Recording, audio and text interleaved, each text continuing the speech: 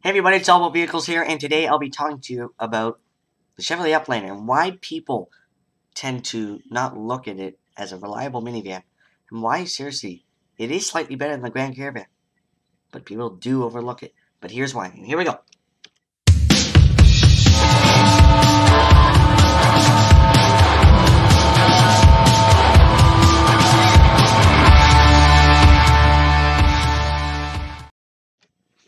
So, the Chevy Uplander was built from 2005 through 2009. It came either in the 3.5 liter V6 or 3.9 liter V6. 3.5 liter being the base model. 3.5 liter was pretty much primarily to the SWBs or the short wheelbase vans, and the 3.9s were all the long versions, which were 7 and 8 seaters. And also, you can get them in Versatrak all-wheel drive. It was only available well, it was available from 05 to 09, but you have to have the high trim, and it was an option. It did not come standard.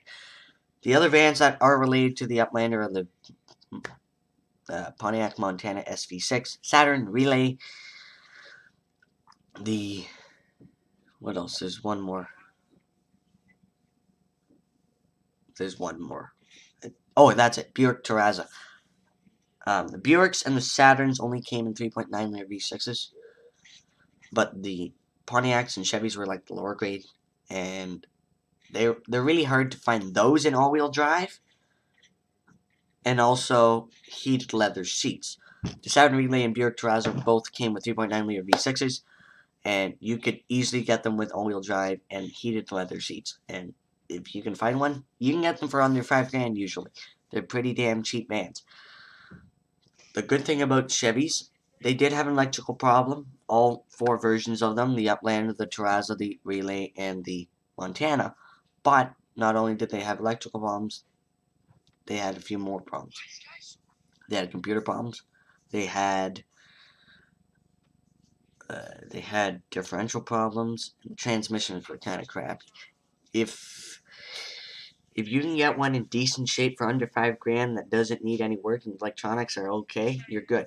I know somebody who owns a 2006 Chevrolet Uplander with 293,000 kilometers on and that thing's beat to hell. And it's an LT with leather.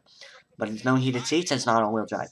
But, you know, in many ways, it beats the Grand Caravan because the Grand Caravan's transmissions are a boom disaster. They blow up every five seconds.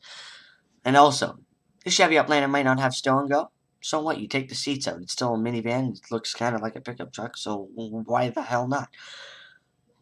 That's where the Grand Caravan does beat the Uplander with the Stow 'n Go. But the Chevy, I like it because that 3.9 was used in every vehicle. Where that 3.3 V6 was only primarily to the Grand Caravan, so was the 4 liter and the 3.8 liter V6. So definitely if you want a reliable minivan, you don't want to pay the price and the premium of a Dodge Grand Caravan from you know, 08 to 2010.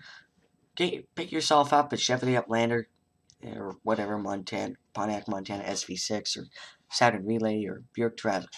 But remember, you can only get the Pontiac Montana and the Chevrolet Uplander in short wheelbase versions. The rest of them are long wheelbase with 3.9 liters. So, you pick your poison, you buy what you want, and definitely you can get them under 5 grand. I'm all about vehicles. I'll talk to you guys later.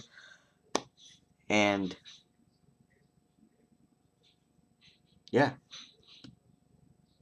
See you guys tonight at 6.30. See you guys all there. ta.